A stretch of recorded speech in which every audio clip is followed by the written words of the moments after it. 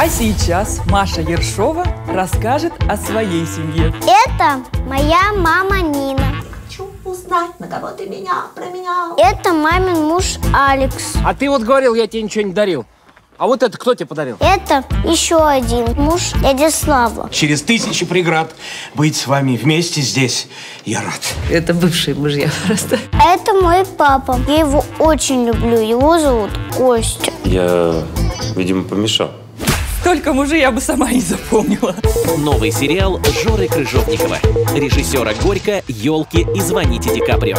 Все собрались? Или еще кого-то ждем?